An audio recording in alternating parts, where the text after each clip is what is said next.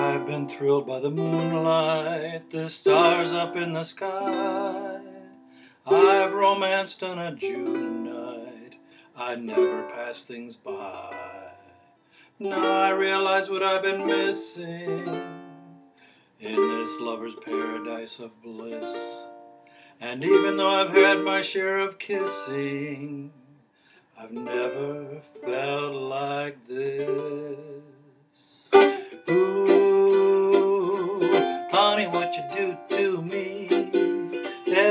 You to me, it's ooh, so nice. Ooh, honey, when you dance with me and you make romance with me, it's ooh, so nice. You thrill something in this heart of me. You kiss so delicious, and when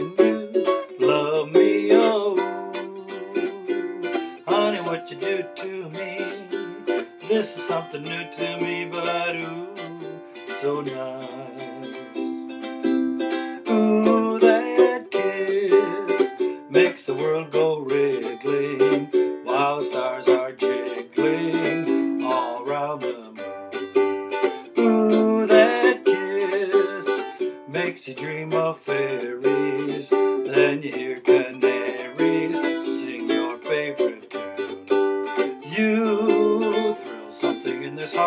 of me.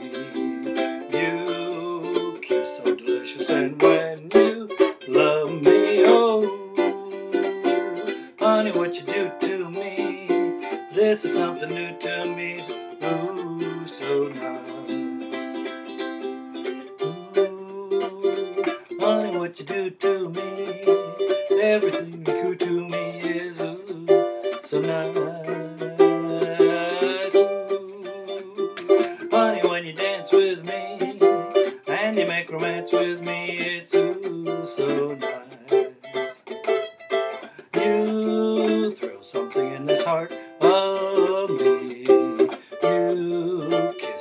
So said, when you love me, oh, honey, what you do to me?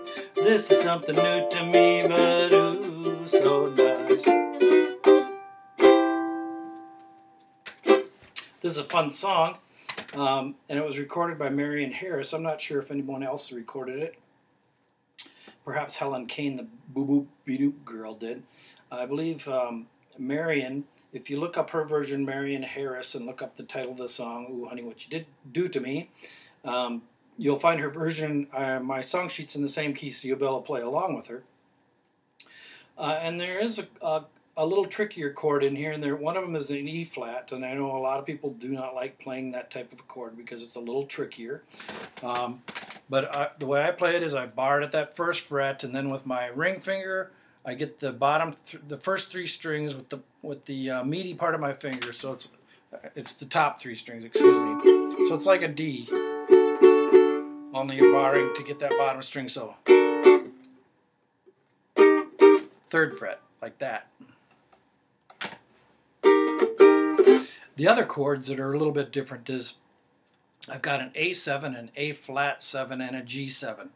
And uh, this is kind of weird because in order to get this chromatic walk down that kind of sounds cool and sounds jazzy like that, it's in this passage. It goes, You kiss so delicious, and when you love me, oh, it's right there.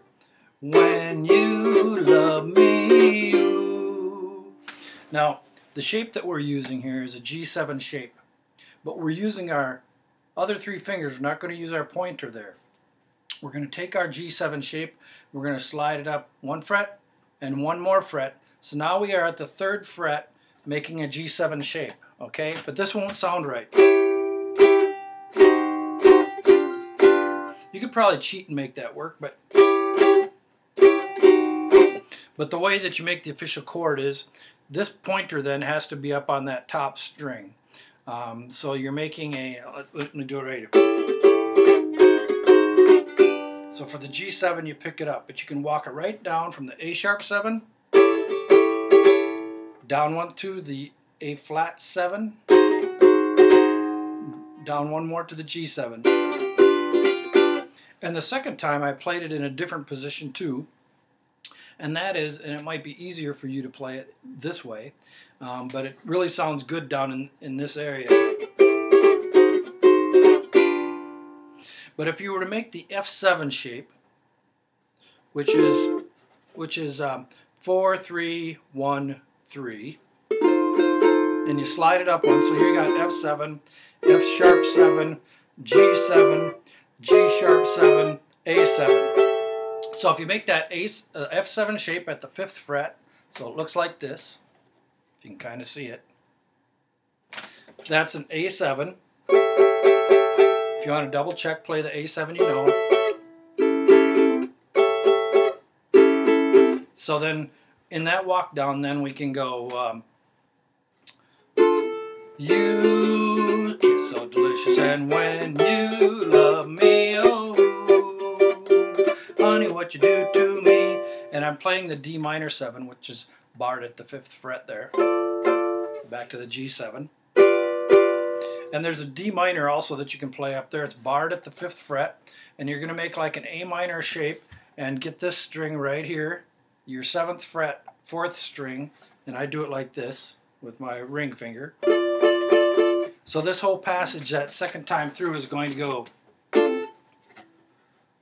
You kiss so delicious, and when you love me, oh, honey, what you do this is something new to me, so, ooh, so nice.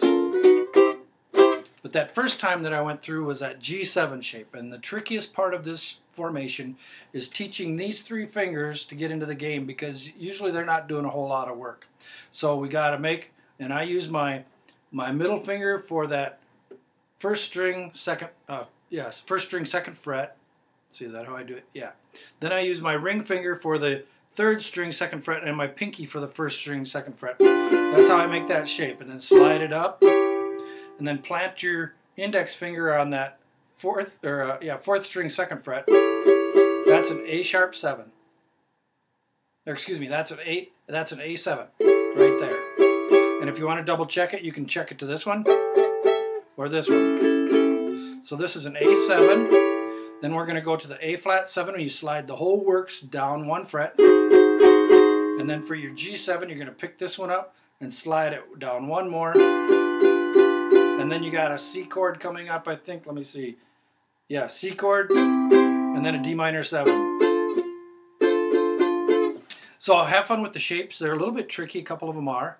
Um, but I think you're going to have fun with it because this really brings out that whole jazz sound, doesn't it?